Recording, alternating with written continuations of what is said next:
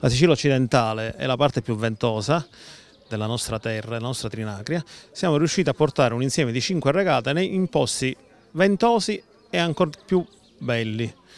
Si inizia a Salina con una regata che partirà da Palermo e arriverà a Salina, la farà parte del campionato italiano offshore quindi subito dopo le barche resteranno là per le Olen Sailing Week, oramai è un cult perché è da tre anni che resista sempre il tutto esaurito con due mesi d'anticipo rispetto alla data di inizio.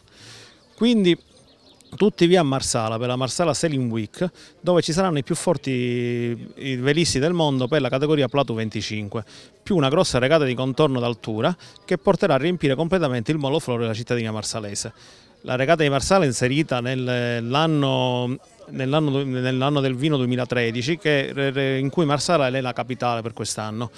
Ehm, insieme a questo è voluto fare, oltre che mettere insieme i festeggiamenti Garibaldi, Garibaldi sbarcò l'11 maggio a Marsala, l'anno del vino di Marsala e la Marsala Sailing Week. Sarà un grande spettacolo a terra e un grande spettacolo a mare. Finito a Marsala, il clou tecnico dell'amministrazione sarà a San Vito per il campionato del Mediterraneo che è una prova europea prima del campionato mondiale si farà nell'Adriatico. Ehm, San Vito rappresenta un punto importante di passaggio per tutta la flotta del Tirreno che dovrà poi spostarsi in Adriatico per il campionato del mondo. Quindi un ottimo momento per testare equipaggi e barche prima dell'evento iridato.